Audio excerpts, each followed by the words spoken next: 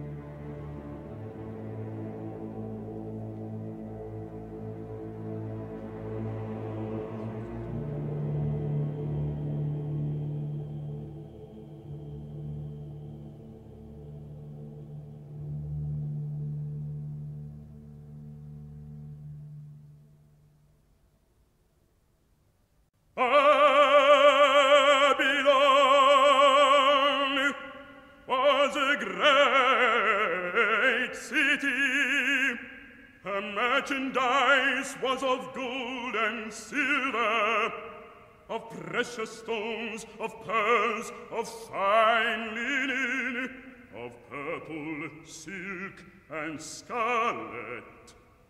All manner vessels of ivory, all manner vessels of most precious wood, of brass, iron, and marble, cinnamon odors and ointments, of frankincense, wine and oil, fine flour, wheat and beasts, sheep, horses, chariots, slaves.